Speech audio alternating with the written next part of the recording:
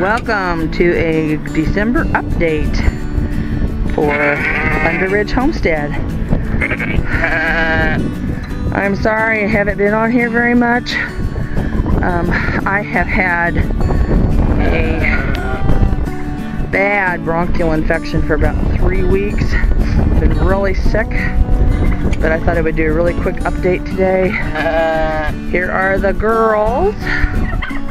Um, we do have a couple of young ones here. This one and that one that are a little on the small side and a little on the young side. So I waited until late to breed this year. That's why we just got our ram. So those are the sheep.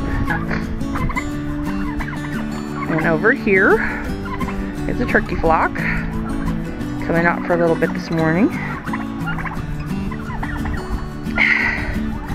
It's like sleeting out here today, so we're not to linger. I wanted to take the opportunity to show you my new ram. This is Moses.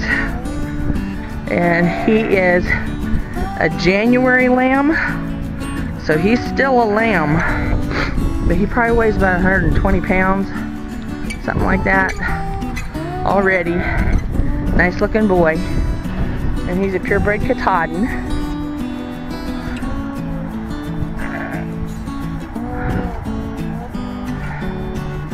I just wanted to take the opportunity to give you a real quick video today to see Moses.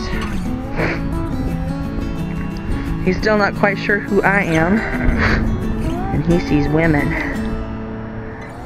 But he is in this small little pen for the first few days because I always do that kind of as a quarantine to make sure he's well and healthy, which he is, I believe.